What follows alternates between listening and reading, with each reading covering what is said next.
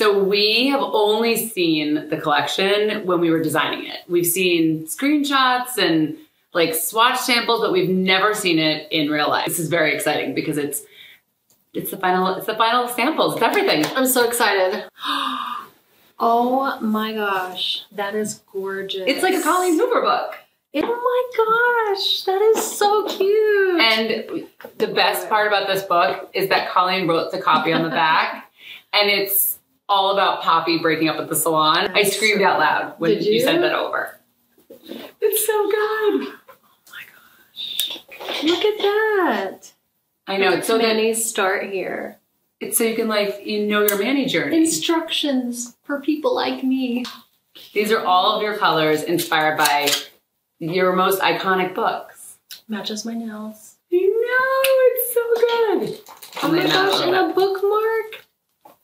The bookmark is so That is cute. so pretty. Which what's your favorite color, do you think? Okay, so I'm really loving this one so much. I think that's why I went with these nails today. But I can't wait to try this one. I have diner date on. So cute. It's so good. I think that's my favorite color. I love the nail polish remover pot. You're like, I love the item that's not named after Yeah. my characters. No, I just love the size of it. I keep one in my purse. Corrigan, which is the Yeah, so good. which is also a really great name. I know. Well, I do say so. This is cute. this is really cute. What is inside of it? These are genius. I love them. Poppy. Poppy's a good name.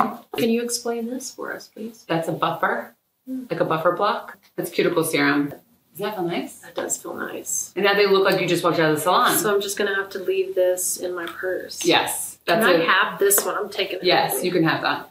So we have all the tools. We have all the colors. Let's lay the colors out for everyone. Top coat, My favorite. island a time. Do you ever wear matte matte top coat?